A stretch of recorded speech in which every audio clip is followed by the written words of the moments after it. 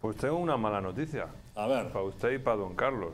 Que usted no nos va a votar si nos presentamos. No, no, Ah. es que él, él dice que han recaudado, que nos han robado 22.000 millones más. Y es que no es verdad. Es que nos ha robado todavía más. Exactamente. A ver, cuéntenos. Porque resulta que en el mes de julio, eh, es que esto no sale en los eh, medios convencionales, digamos. En el mes de julio... Por eso está usted aquí, para que en este em, medio sí salga. Cuente, cuente. La agencia tributaria, bueno, recibió la orden de devolver, bueno, devolver o pagarle el IVA que le debía a las comunidades autónomas Y no lo ha hecho. desde el año 2020. No, no, y lo ha hecho este mes de julio.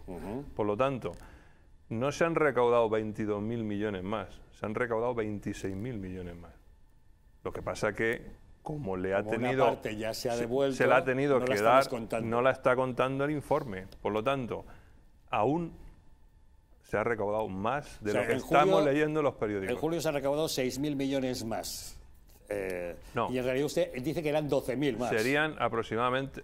No, serían, serían enero hasta 10 julio 10.000 han sido 10.000 más, 22.000. 10.000 más. Con lo cual, vale. en. Esta es la realidad. Y esto, esto es significativo, porque, mm, claro, el mes de julio ha sido... Pero vamos, aunque nos quedáramos solamente con el otro dato, con los 22.000 millones, Sí. ya está bien. Sí. ¿Usted no cree que teniendo un- una recaudación tan abundante como esta, podría el gobierno tener un gesto de bajarnos el IVA de algunos productos, aliviarnos un poco la carga fiscal, en vez de buscar alternativas en las que los impuestos se mantienen y ellos siguen recaudando? Porque yo creo que Sánchez se ha propuesto perder las elecciones.